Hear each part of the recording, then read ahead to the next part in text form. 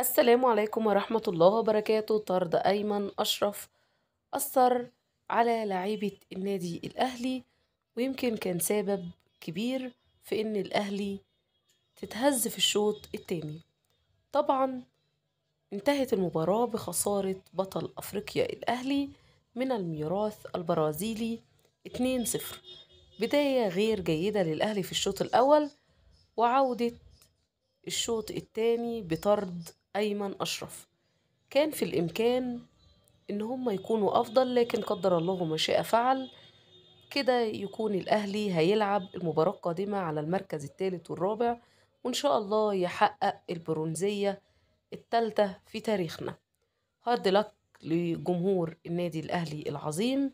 وطبعا كل الشكر للعيبة اللي كان ليهم في الشوط التاني استحواذ كبير جدا بس طرد أيمن أشرف أثر عليهم. ده كان الخبر بتاعي. لو وصلتوا معايا لحد هنا فضلا منك يا ريت تشترك في القناة تفعل زر الجرس عشان يوصلك كل جديد.